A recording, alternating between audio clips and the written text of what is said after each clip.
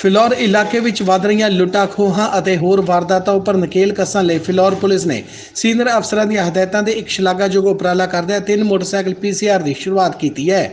ਇਸ ਸੰਬੰਧੀ ਜਾਣਕਾਰੀ ਦਿੰਦਿਆਂ ਥਾਣਾ ਫਿਲੌਰ ਦੇ ਐਸਐਚਓ ਸੰਜੀਵ ਕਪੂਰ ਨੇ ਦੱਸਿਆ ਕਿ ਇਹਨਾਂ ਤਿੰਨਾਂ ਪੀਸੀਆਰ ਮੋਟਰਸਾਈਕਲਾਂ ਨੂੰ ਵੱਖ-ਵੱਖ ਬੀਟਾਂ ਦਿੱਤੀਆਂ ਗਈਆਂ ਨੇ, ਜੋ ਕਿ ਰੋਜ਼ਾਨਾ ਹੀ ਆਪਣੀ ਆਪਣੀ ਬੀੜ ਵਿੱਚ ਗਸ਼ਤ ਕਰਨਗੀਆਂ ਅਤੇ ਸ਼ਰਾਰਤੀ ਅਨਸਰਾਂ ਨੂੰ ਕਾਬੂ ਕਰਨ ਵਿੱਚ ਸਹਾਈ ਸਿੱਧ ਹੋਣਗੀਆਂ।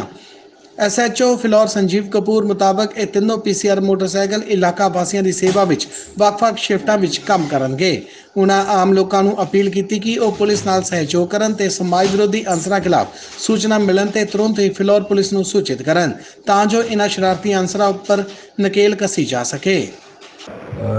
ਅੱਜ ਮਿਤੀ 10/21 ਨੂੰ ਮਾਨਯੋਗ ਐਸਐਸਪੀ ਸਾਹਿਬ ਸ਼੍ਰੀ ਮਨੀਸ਼ ਜ਼ਿਲ੍ਹਾ ਜੀ ਤੇ ਐਸਪੀ ਸੁਮੇਲ ਮੀਰ ਜੀ ਹਦਾਇਤਾਂ ਮੁਤਾਬਕ ਤੇ ਉਹਨਾਂ ਦੇ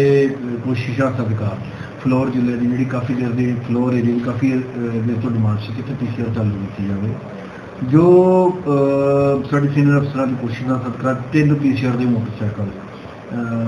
ਬਤੌਰ ਅਹ, ਗਸ਼ਤ ਜੋ ਕਿ ਰੂਟੀਨ ਦੀਆਂ ਪ੍ਰੈਕਟਿਸ ਲਾਇਸੈਂਸਿਸ ਨੂੰ ਠੱਲ ਪਾਉਣ ਵਾਸਤੇ ਅਸੀਂ ਸ਼ੁਰੂ ਕੀਤੀ। ਇਹਨਾਂ 'ਚ ਅਸੀਂ ਤਿੰਨ ਬੀਟਾਂ ਬਣਾਏ ਬੀਟ 1 2 3 ਇੱਕ ਮੋਟਰਸਾਈਕਲ ਜਿਹੜਾ ਕਿ ਨੂਰਮਹਿਲ ਰੋਡ ਤੇ, ਨੂਰਮਹਿਲ ਤੋਂ ਪੈਟਰੋਲ ਪੰਪ ਗੰਨਾ ਪਿੰਡ, ਅਕਲਪੁਰ ਪੱਠੇ ਵਾਲੇ ਪਾਸੇ ਚੂਗਨ ਰੋਡ ਤੇ ਰਾਮਗੜ ਚੂੰਗੀ ਵਾਲੇ ਪਾਸੇ ਤੱਕ ਚੱਲਦਾ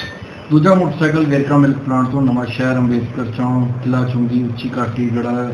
ਗੜਾ ਰੋਡ, ਫੁਹਾਰਾ ਚੌਂਕ ਤੇ ਰੇੜੀ ਮਾਰਕੀਟ ਤੇ ਫਲੋਰ ਦੇ ਅੰਦਰਲੇ ਬਾਜ਼ਾਰਾਂ ਵਾਸਤੇ। ਤੀਜਾ ਮੋਟਰਸਾਈਕਲ ਹੈ ਜੋ ਕਿ ਅੱਡਾ ਨਵਾਂ ਸ਼ਹਿਰ ਤੋਂ ਕੋਟ ਕੰਪਲੈਕਸ ਟੈਂਕ ਚੁੰਗੀ ਗੜਾ ਚੌਂਕ ਨਗਰ ਤੋਂ ਬੰਗਾ ਰੋਡ ਸੈਫਾਬਾਦ ਤੇ ਕ੍ਰਿਮਕਾ ਫੈਕਟਰੀ ਵਾਇਆ ਕੱਚਾ ਰਸਤਾ ਤੇ ਅੱਡਾ ਨਵਾਂ ਸ਼ਹਿਰ ਜੋ ਇਹ ਉਕਤ ਤਿੰਨੋਂ ਮੋਟਰਸਾਈਕਲ ਅਸੀਂ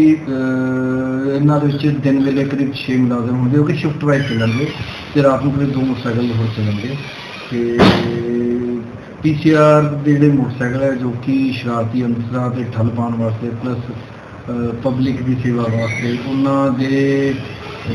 ਜੇਕਰ ਕਿਸੇ ਤਰ੍ਹਾਂ ਦੀ ਲੋੜ ਹੋਏਗੀ ਤੇ ਉਹਨਾਂ ਦੀ ਸੇਵਾ ਵਿੱਚ ਹਾਜ਼ਰ ਹਾਂ ਅਗਲੇ ਟਾਈਮ ਜਿਸ ਵੇਲੇ ਜਿਹੜੇ ਮੋਟਰਸਾਈਕਲ ਵਧਾਈ ਵੀ ਜਾ ਸਕਦੇ ਆ ਗਿਣਤੀ ਨਾਲ? ਇਹ ਸਾਡੀ ਕੋਸ਼ਿਸ਼ ਹੈਗੀ ਕਿ ਮੋਟਰਸਾਈਕਲਾਂ ਦੀ ਦੋ ਹੋਰ ਮੋਟਰਸਾਈਕਲ ਅਸੀਂ ਚਲਾਣੇ ਪਲੱਸ ਇੱਕ ਰੈਪਿਡ ਗੱਡੀ ਜੋ ਕਿ ਅਪਰੇ ਵਾਲੇ ਵਾਸਤੇ ਚਲਾਉਣ ਦਾ ਪਲਾਨ ਹੈ। ਤੇ ਕੋਸ਼ਿਸ਼ ਜਲਦੀ ਤੋਂ ਜਲਦੀ ਕਰਕੇ ਇਹਨਾਂ ਦੀ ਵੀ ਸੋਰਸ ਅਵੇਲੇਬਲ ਕਰਵਾ ਕੇ ਇਹਨਾਂ ਨੂੰ ਵੀ ਚਾਲੂ ਕਰਵਾ